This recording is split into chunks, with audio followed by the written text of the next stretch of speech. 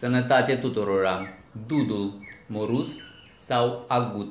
Dudul este un pom original din Asia, aclimatizat în țară și cultivat în scop tehnic, frunzele fiind folosite pentru hrănirea viermelor de mătase, dar și în scop alimentar pentru fructe. Dudul alb, original din China, a fost adus în bazinul mediteranean de către greci pentru creșterea viermelor de mătase, iar cel negru adus din Persia și Transcaucazia. Fructele sale nu sunt consumate de viermi de mătase. Ambele specii cresc cultivate în special în zonele de sud ale țării. În scop medicinal se folosesc frunzele atât de la dudul alb cât și de la dudul negru. Pentru ceai se recoltează frunzele tinere fără codiță. De la dud se pot folosi frunzele, fructele și chiar scoarța. În medicina tradițională chineză, fructele de dud erau considerate ca hrănitoare pentru sânge. Așadar, ce se găsește în fructele și frunzele de dud încât și-au câștigat o așa bună reputație din vremea Chinei antice și până azi? Fructele de dud conțin tanin, acid aspatic, arginină, acid folic, acizi organici, beta-caroten și substanțe minerale, etc. Fructele au un conținut bogat în glucide, pectine, vitamina C, caroten vegetal, tenin, etc. și pot fi consumate ca atare, având gust dulce.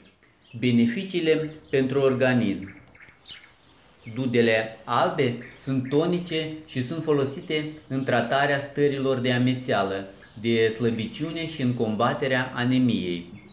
Stimulează digestia și tratează afecțiuni ale tractului digestiv. Dudele sunt eficiente și în detoxificarea organismului dacă sunt consumate dimineața pe stomacul gol timp de câteva zile. Extractul de dud alb este util pentru diabetici deoarece reglează glicemia, stimulează secreția de insulină și îmbunătățește metabolismul glucidic. Proprietăți antibiotice au și frunzele de dud. Frunzele de dud stimulează sistemul nervos. Tot frunzele sunt eficiente și în stimularea tractului digestiv, dar și a sistemului respirator și cardiovascular.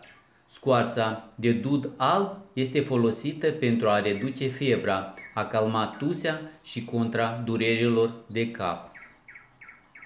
Descrierea dudului. Dudul poate ajunge la o înălțime de 15 metri, cu tulpină dreaptă, gri, ramificată de la înălțime mică, cu o coroană rară. Frunzele de dud sunt subțiri, foarte diferite ca formă, cu bază rotundă și cu marginea neregulată serată.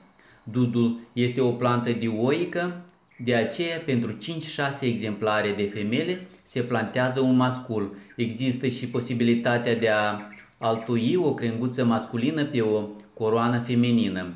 Florile unesexuate, cele mascule, sunt cilindrice, iar cele femele oblonge. Înflorește în luna mai, planta rodește numai de la vârsta de 7-9 ani. Fructul este compus de numeroase drupe false, mici, dispuse pe axul înflorescenței, care devine cărnos. În Europa, dudul a fost introdus în secolul al VII-lea, în România el crește în stare sălbatică, în zone de câmpie și pe dealuri joase. Vă mulțumesc pentru vizionare și vă doresc multă sănătate. Cele bune!